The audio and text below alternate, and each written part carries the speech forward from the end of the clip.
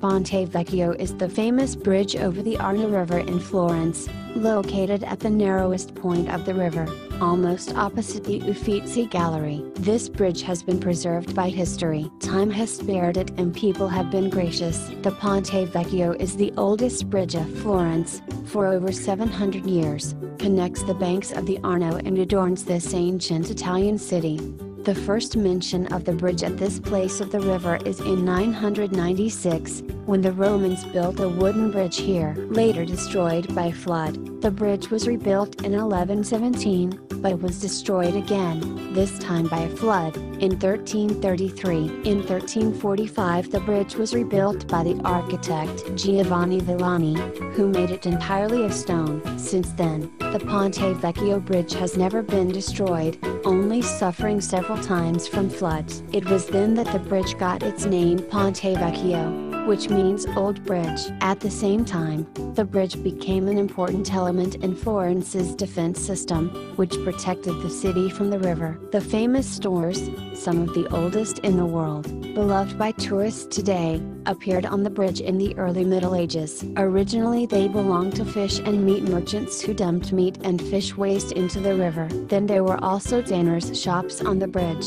who used water from the river to soak hides, which were then tanned in horse urine in 1565, Duke Cosimo I built a covered passage that connected Florence's administrative building, today's Uffizi Gallery, to the Pitti Palace, which were on opposite sides of the river. The passage was dedicated to the wedding of the Duke's son Francesco with Joan of Austria, and its construction was entrusted to Giorgio Vasari, who was very proud that he was able to complete the project in such a short time. In just five months. The bridge is also interesting because of the houses on its sides, which since the Middle Ages have housed shops. The nature of trade on the bridge changed when the Medici family moved to this part of the city in the second half of the 14th century, soon after the devastating plague in 1348, which caused a significant decline in the city population. In the following century the situation began to change for the better, thanks to the wealth and influence of the Medici, and by the end of the 16th century the butchers' shops, which had greatly contributed to the pollution of the river, were gradually replaced by jewelry and art workshops. In 1593 the butchers and delicatessen vendors were expelled from the bridge by the ruler of Florence, Cosimo I de' Medici, Duke of Tuscany and were replaced by jewelers. Since then, the Ponte Vecchio has had a second name, the Golden Bridge. The butchers and fishmongers were removed as Cosimo I was annoyed by the smells and appearance of their stores, and jewelers' stores were set up in their place, which still exist today.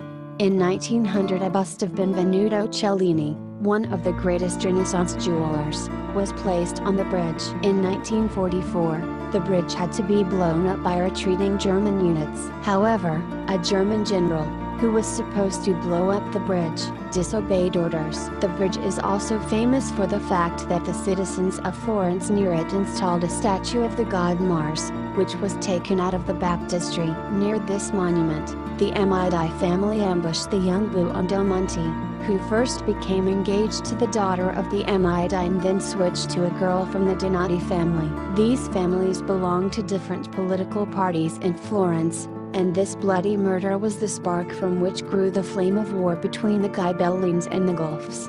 The Arno River, 240 kilometers long, runs through the various provinces of Tuscany. It is the largest river of the region. In the past Florence often suffered from floods, such as the famous flood of 1966, after which new levees were built on the river, which greatly reduced the risk of flooding of the city.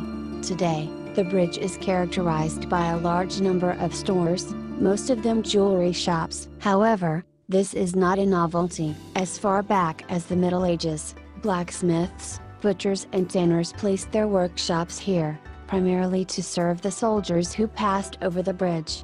Today, Florence has 10 bridges. Before 1957, there were only 6, and they have been rebuilt several times over the centuries. All the bridges, with the exception of the Ponte Vecchio, were reconstructed after World War II.